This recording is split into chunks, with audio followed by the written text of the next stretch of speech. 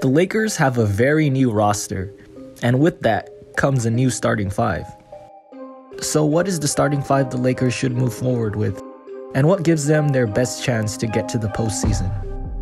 So far, it looks like Darvin Ham is sticking with the starting lineup of D'Angelo Russell at the 1, Malik Beasley at the 2, LeBron and Vanderbilt, interchangeable at the 3 and the 4, and Anthony Davis at the 5. Granted, it's a very small sample size, but it looks good so far, and I doubt they change it unless they run into some issues. So I think it's pretty obvious that LeBron and AD are going to be a part of any starting lineup, and more than likely, D'Lo is in there too, it's just a matter of what positions they play. Now, this first iteration mentioned is a little bit weak defensively in the backcourt. D'Angelo is a big guard, but he's not very athletic.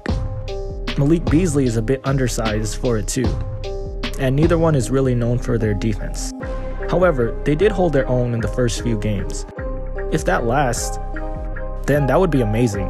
That would be the perfect starting backcourt. However, that's unlikely to hold up against bigger, more athletic, and more talented backcourts. To have a better balance defensively, I think it would be better to replace Malik Beasley with Austin Reaves. Now, Austin is not as good of a shooter as Beasley, but more importantly, he's not as confident of a shooter as Beasley, which really helps with the spacing and keeps the defense honest. But he's still one of the better shooters on the team, so the defense will definitely have to guard him behind the line. And he's a better playmaker than Beasley and could be a secondary ball handler. But what's really important is his superiority on the defensive end. He's a little bigger than Beasley, and he's able to stick with his man on defense. And he could potentially guard the point guard if they don't want D'Lo to have that assignment. Now, LeBron and AD are a lock in the front court, but the third guy inserted will shift around their positions. Probably the biggest question is where to play Anthony Davis. If you play AD at the 4, then I think Bamba is the obvious choice at the 5. He can provide spacing as well as shot blocking. However, I think that option is long gone. AD is clearly at his best when he plays the 5.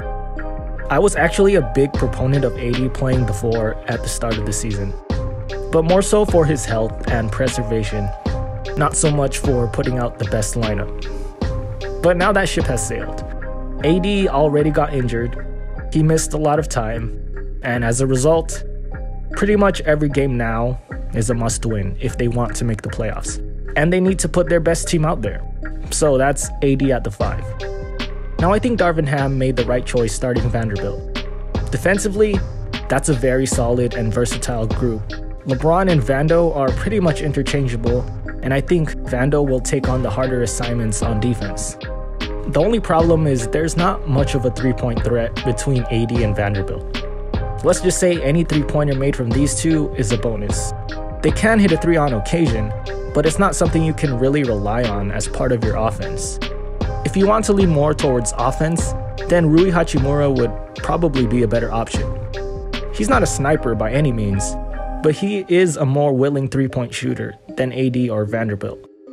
Plus, he can create for himself and be a threat from the mid range. But between LeBron, AD, and D'Angelo, I think there's enough offense in the starting lineup, and Rui's skill set would be better utilized in the second unit. So, the biggest change I would make to the starting lineup is inserting Austin Reaves. But the starting lineup that they've been going with so far has been doing really well. And if they get results, I'm not going to complain. Hopefully, they start to figure things out, gain chemistry with each other, and hopefully make a run at the playoffs, or possibly even further.